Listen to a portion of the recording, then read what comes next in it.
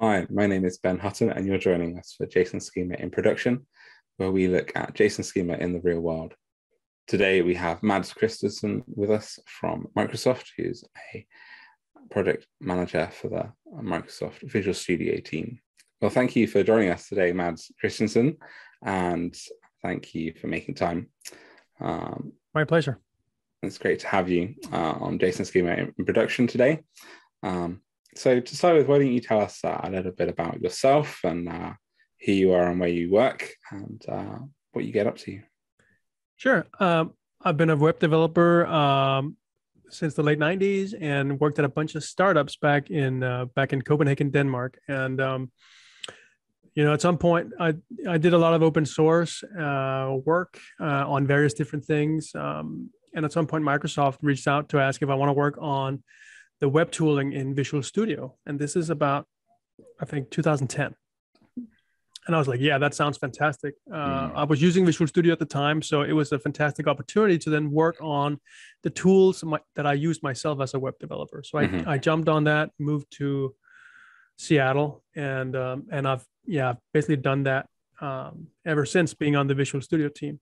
But it was while I was I was working on the web tooling like HTML and CSS and all this sort of stuff that um, it was uh, time for us to build a JSON editor. And at the time, there wasn't really any JSON editors out there in the wild. So mm-hmm. we were kind of we were kind of the first. Usually, we saw other uh, editors and IDEs. They would have like syntax highlighting, and they might have code folding or outlining. Yeah, yeah. Uh, and that was kind of it. And then maybe maybe basic auto completion based on what you know the tokens in the document. And, mm-hmm. and that was mm-hmm. that was the what it you know the extent of that so but we wanted to to do a full implementation so that was that was how the journey into json and json schema and all that sort of stuff started um, okay back in 2013 i think okay okay excuse me so where do you sit now within uh, microsoft and um, what is your sort of uh, role and what do you what do you do now well, I'm still in the Visual Studio team, so I've been moving around a little bit internally, but um, I've been on the Visual Studio extensibility team for quite a while because I built a lot of extensions for Visual Studio. Mm-hmm. A lot of them was web related back when I was, uh, you know, on the web part of, of Visual Studio, and now they they could be anything. Um, mm-hmm. So, um, uh, so I, I, built a lot of extensions, so it was natural for me to move there, and um, and now I'm kind of in the in sort of a customer facing outreach role a mm-hmm. little bit where I do a bunch of YouTube videos. I do a lot of internal sort of UX uh, reviewing and uh, helping out internally to to help create better features uh, all across the board from Visual Studio and help get people to talk to each other and have you know identify synergies between different mm. teams and so on and so uh, it's a quite a different world now than it, it was uh, when I started. But but it's still on the Visual Studio team. It's still the product that I love, and uh, I'm very very happy to do what I'm doing. Yeah, it's really good when you're passionate about something and you feel you've got really good experience in that area. And, and yeah, as you say, you've already been using Visual Studio for almost a, a decade, I think you said. And yeah, and you can come in and have real impact and just improve the the product that you really uh, enjoy working with uh, yourself yeah. already. Uh, I've been using Visual Studio for 20 years, and Visual Studio wow. turned 20, I think, here in January or February. So wow, that's yeah. that's huge. 20, mm-hmm. 20 years. I, I remember using it. Uh, not quite 20 years ago, but some time ago, uh, back when I first started programming. So mm. it's always been a great help to me as well it's a great home you know it's with your ide whatever it might be you, you know that's where you live for you know half of your waking life almost right? Eight to ten hours a day you mm. live in your code editor and uh, and so it becomes a home. And it's a it's a kind of a special world a special product. It's different than i feel like most other apps because you don't you don't live in it. You don't call it home the way you do with your mm. code editor. Yeah that's right. That's definitely true. You know you need it to do everything when your workflow right you, you want to stay in it as much as possible you don't want to come out yeah so when you came into Microsoft to work on um, the tooling. What was it that sort of led you to um, JSON schema integration? What was the what was I guess the, the challenge that you were presented with? What were people facing that led you down that path?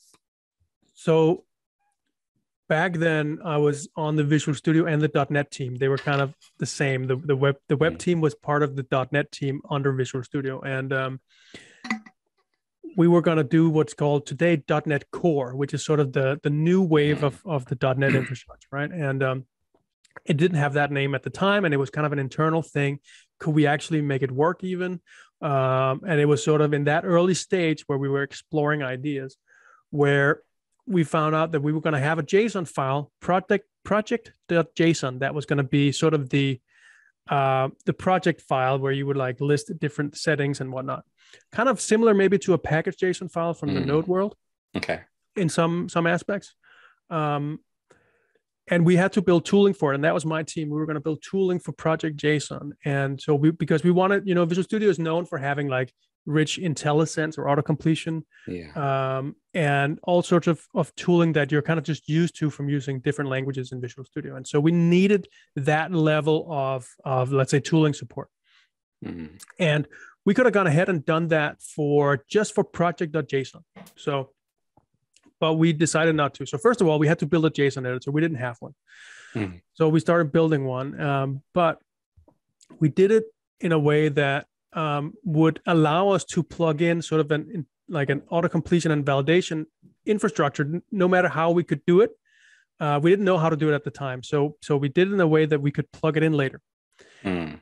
and so as we started looking for how do we how do we provide great tooling on top of like a basic json editor we looked at what was out there and the only thing that was there was something that um, no one really had heard about which was called json schema and json schema at the time was in draft 4 draft v4 and it Mm. was um, it was kind of hard to get my head around. I remember looking at it first, and it was kind of hard with the, all these uh, one-offs and any-offs. And then, you know, in order to do like exclusive things, you had to do weird kind of logical things, like saying not any of, or you know, Yeah. it was Yeah. had this weird logic to it. Um, but it was like, okay, there that there seemed to be something here, and and we don't have anything better. So let's let's see if we can if this is a good fit, and we we research it and investigate it, and it turned out to be a really good fit. And so we built as I think the first editor in the world, a JSON schema support into Visual Studio. So this was. Visual Studio 2013, uh, like update one or update two or something like that Wow, that brought the yeah. JSON schema support in. And, and so at the time there was not there was no other editor out there that that had that. Mm. Um, and so that was the way in. And of course, we then had to write the schema for project.json, right? Okay, so what, how do we do that? Uh, do we just ship that in the box with Visual Studio? Well, we don't want to do that because what if we need to uh, have a different different versions of the .NET Core runtime? You could have one app that you build in Visual Studio using one version of that uh, uh, .NET Core, and Mm. another app that uses a different version, and they might have differences in the in the schema of Project JSON, right? So how do we how do we store that in a way that's sort of out of box that we can update independently of Visual Studio that doesn't follow Visual Studio per se, but follows more sort of the update patterns of .NET Core. Yeah. And so, and I started thinking about this because that's true for not just .NET Core. It's true for pretty much any other format. They don't they don't update with the Visual Studio cadence, which that would be weird. Mm, yeah. Uh, so it you know it goes without saying that that's how the world works. And so, uh, we needed to come up with like a, a, third party kind of repo where people could submit um, their schemas and you know would be completely independent of Visual Studio. And so in my spare time, I started creating this thing called JSON Schema Store or schemastore.org.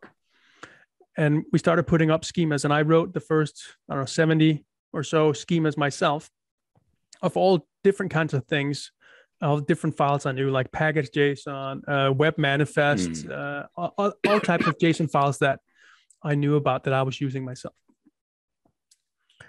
And um, and all of a sudden, you know, the people out there they they saw that their files that they've been editing for years in plain text in Visual Studio JSON files, all of a sudden they got IntelliSense, they got validation. They was told, hey, you you made a mistake here, right? Or they got their completion and their IntelliSense, which was uh, a fantastic story. All of a sudden, people got that surprise and uh, and we got a lot of, of positive feedback from that. But so I think so I think there's there's two parts to the journey. One is the support for JSON schema in Visual Studio, and the sort of the open source independent schemastore.org, um, mm. which is basically so I put it in its own organization on GitHub. It's not in my name, and that was on purpose from the very beginning. I did not want it to be.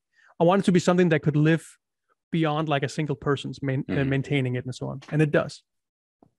So with those two things, we now had something I feel like uh, was super powerful. And of course, in the beginning, the amount of people that would send pull requests to add their schema was, you know, kind of slow. It was all new; no one knew knew about it. But then all of a sudden, you saw, uh, you know, the JetBrains IDEs, IntelliJ, you know, WebStorm, all those mm. integrating with um, Schema Store and Visual Studio Code and Android Studio and on and on all of a sudden, all these major IDEs and editors and extensions like the YAML extension for VS Code, for mm. instance, also gets its power from Schema Store. Yeah. So now all of a sudden it became pervasive. So now everyone interfaced with Schema Store. Everyone knew how to get their, you know, if they have a product or let's say you got a Node.js module that has like a config file that's in JSON, you can just put a schema up on Schema Store and, and all of your users, no matter what IDE they're using, will get that tooling. So it actually became like this very beautiful story of something that is completely uh, democratizing providing that tooling right? It's it's very very empowering for people to just put a schema up there maintain it yourself. You don't even have to put the schema up on schema store. You can host it yourself and just add you know the url to the um, mm. to the sort of the catalog of of uh, schema store. Um, so it's not like it wants to like own schema store. It does not claim or want to own your schemas. It's just like, hey, let's create one place that we collect the links, if you will, to all the schemas so that we all can have the best possible uh, user experience. Mm. Yeah, I mean that's it's so powerful once you bring that IDE and that single place to you know, store or find schemas. It's, it's so powerful to have that IntelliSense, have that autocomplete, um, and not only that, but to, to know what the, the options are and, and what they mean, the semantics as well. Uh, I, I have a, a feed in, in the JSON schema Slack where we uh, pipe in um, tweets that contain JSON schema. And mm. it's, it's generally, you know, every week the people are still surprised going, oh, my, my IDE is, is auto completing my config files. It's, it's amazing. It's validating them. I know I have a config wrong.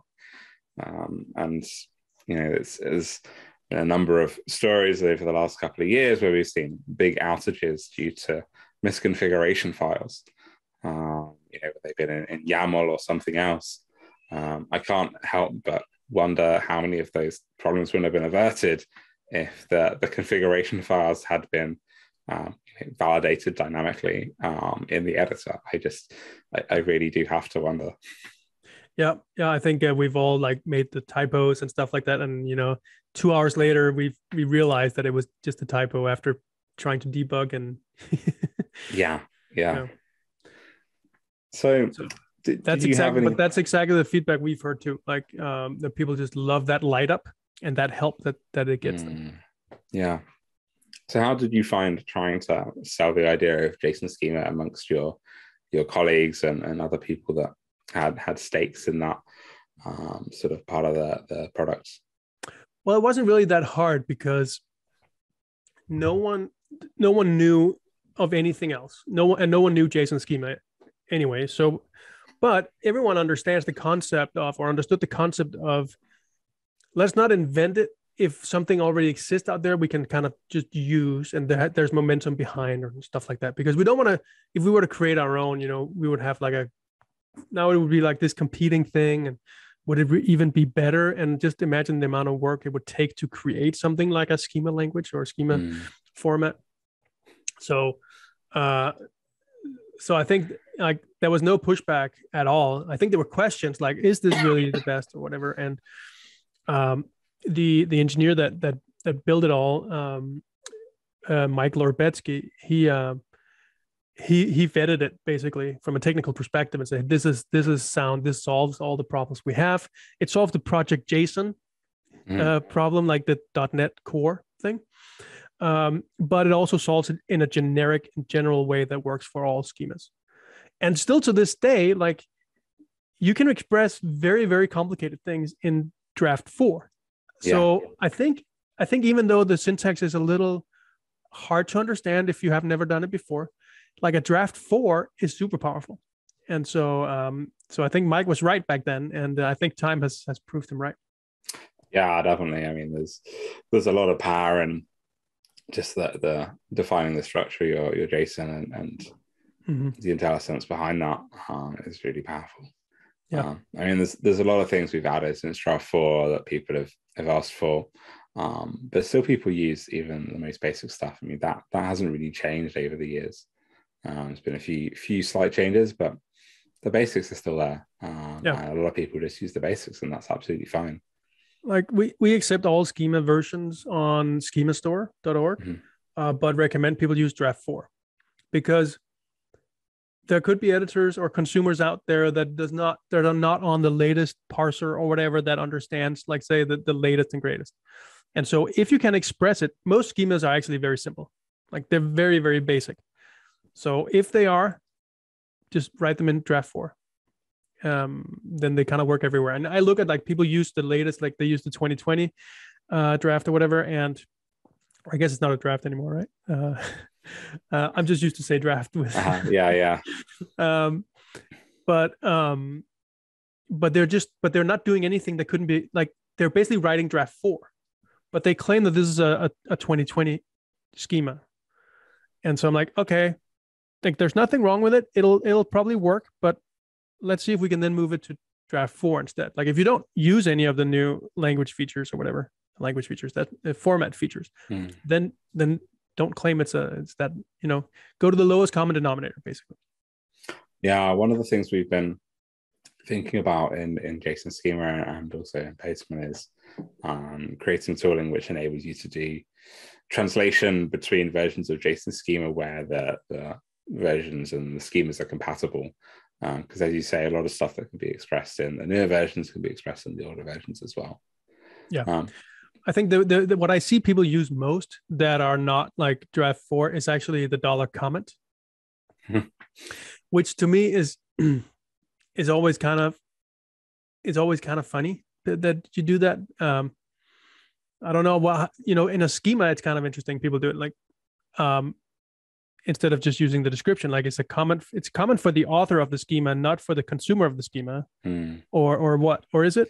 And so yeah right and so exactly so yeah yeah but then that seems like is that really i don't know maybe it is needed maybe i don't know it just seems like very um not always kind of the the uh worth the jump to like a, a higher version for just adding like a comment about like what something is when there is already a description field that um yeah but, i think you know. i think people wanted to be able to distinguish between stuff that they wanted to appear, appear in their automatically generated documentation for example, yeah. versus stuff that they want to keep right. just for the people that are editing the schemas. right, and that and that's kind of that's always to me. It's always been kind of. I just th- thought that was funny. I, am sure it has like some totally valid use cases, uh, but I don't want to talk about JSON C like having comments in JSON files. That I feel like that's a completely different rabbit hole. Oh yeah, uh, yeah, we could uh, go on for some time about that one and that you know it works fine for like configuration files but you know it falls flat when you don't want to you know send json over the wire but um yeah so tell me more about um your your work you were saying earlier in in um swagger 2.0 which is uh, oh, yeah. open api and yep. json schema and, and what you you did around that specification that was that was kind of fun because um yeah so so at th- when when was this this was 2014 i think so Swagger was um, this API documentation J- description mm-hmm. uh, in a, expressed in JSON. It was called Swagger. It's now what's called Open API. I think most people know it as Open API, but back at the at that time it was called Swagger. And the uh, the ASP.NET, the web team, the the on the .NET team, they wanted to have a way that when you wrote a web API using uh, ASP.NET, that there was a description of the API so that you could have like other tools automatically generate proxy clients and whatnot to to talk to this your service, right? Uh, this is this is kind of you know one of the powerful things, maybe the only good thing about back in the day of of uh, WSDL files, back when we did mm-hmm. SOAP, mm-hmm. but uh, but a WSDL file that described your endpoint and what the types were and what to expect, what to go back and forth, so that cl- clients like other IDEs or whatever could you could point at that endpoint and say, hey, generate me proxy classes. Mm. And so what's really cool about Swagger Open API is that it allows for that. And so it's like, hey, in this new world of like REST APIs where we, we no longer want SOAP, right? We definitely don't want that. But there's still that need to of the user experience to make it easier to consume a JSON API, a REST API. And so in order to do that in a super good way, you have to be able to describe the endpoint in a way that machines can understand and get the full picture of. And so that that was what what where they were. Okay, how can we make it working with the REST APIs easier? And so they were interested in getting something like Swagger. And I think there was other there were other formats out there. So something called Blue Blue some oh I, I forget this it's some years ago now seven eight years ago um, but there were different formats and I think they, they decided on Swagger uh, was the right thing to do. And mm-hmm. and at that time, so they were in, in, contact with, I think Tony Tam was the guy from from Reverb uh, that ran the Swagger specification, and uh, that was Brady Gaster from the ASP.NET team, and he eventually brought me on board. Say, hey, can you help out with the Swagger JSON uh, format? Mm-hmm. And and or just take a look to see if it that doesn't make sense. And I looked at it and I was like, hang on, wait a second. You're describing JSON using JSON, using like your own custom invented um, format. That seems like you're like you're reinventing the wheel here. And so I got involved in the working groups and all that sort of stuff, basically taking what they had and migrating all that to JSON schema. Mm-hmm. So we made a hyper schema specifically for for that uh, purpose of describing an API endpoint, and um, so that was the, the the Swagger 2.0 came out with being JSON schema based uh, of the work that I did, all the, the pull requests and, and basically that description. And it turned out to be a really cool way of describing and to working on a specification to use JSON schema because it's very precise. Um, like instead of using words to describe uh, how you know how does it work when in this situation or that situation, be able to describe it in sort of let's call it code, mm. right? Declarative code is um, is much more precise and terse. And so it was actually really easy for the whole work group to kind of get on board with, and we could move on to like figuring out how this whole Swagger 2.0 thing should work uh, and not think about so much the format because that just followed along sort of organically through the JSON schema. And so that was fantastic. And and you know they continue with the JSON schema, and they, I think they finally got rid of the hyper schema, and they just go straight to the uh, regular schema format now, which is fantastic. Uh, but that was after I got in. Um, mm-hmm. That was after the 2.0 release.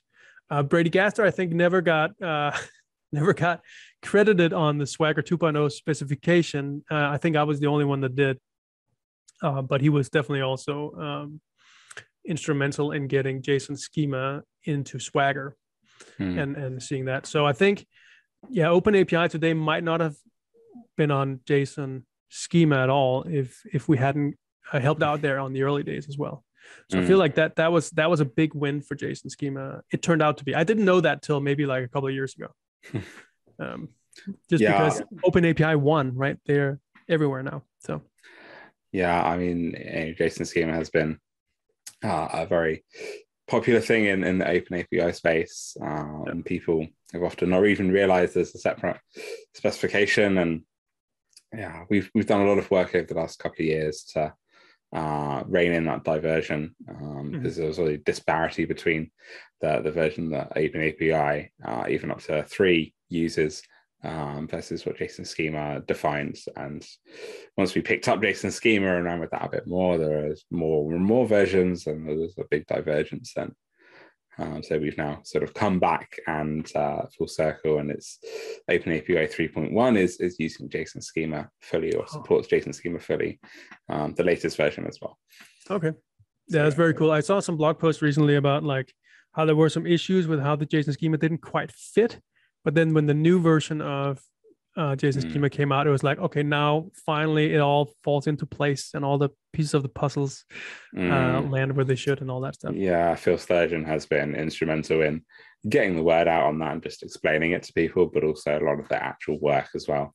Um, okay. So yeah, Phil Sturgeon is definitely a huge help on, on that work. That's fantastic. The, the only the only um, thing about that is that the nature of an open API is such that you know they're they're um they're never they're never a document you open in like let's say an editor. So the schema like all the different editors cannot provide just because of the nature of it like you don't open uh that json file that describes your like your open api json file. You you navigate to it in the browser to see what it is and you know test the apis uh, but that means that the uh, the the ides out there don't actually use schema store to give IntelliSense and so on for the for the for the open api documents just because of the nature of it. And i feel like that's so sad because it's like one of the most per- pervasive json schema things out there. And um, it's like the one thing that the editors in visual studio can actually help you with from an from an editing perspective. Interesting. Well hopefully we can um look to change that in the future. I think you know some people are you know a lot of people are wanting uh, easier ways to edit their open API specs and their, their JSON schema um, specs. I know that a lot of uh, the frameworks, like the web frameworks out there, they just produce the, um, they hmm. automatically produce the the Open API spec documents, right? Like at mm. runtime. So I think, like I think ASP.NET does that at least. I'm sure that mm. a bunch of others do the same. Hmm. It might be like you install a package that does it or something, but um, hmm. um, do people manually edit their uh, Open API spec? Um, I, I, I believe so. Um, I, oh. I, I manually write JSON schemas quite a lot. Um, but yeah, we get quite a lot of people that are manually writing their open API specifications. Um, well, even coming into the then. JSON schema forum. Okay. Well, I take everything I just said back. I, I thought it was always auto generated. Okay. Um, yeah, I think yeah, a lot of people auto generate, but particularly when you consider the um, you know API design first um, approach to, to doing APIs uh, when you have that collaborative design. As you say, you know, defining something in, in words, you have ambiguities, you have problems. And yeah. I've run into those sort of multiple times, which is how I ended up working with JSON Schema in the first place, trying to find mm. something that nailed down those those exact uh, things that you wanted to describe, um, the structure that you wanted to define uh, without using words. Um, uh, when I was uh, working on a collaborative project um, in Miami a number of years ago, 2015, 16, um, it took me sort of half a day to realize that when I was saying API, other people in the room were understanding it to mean something completely different.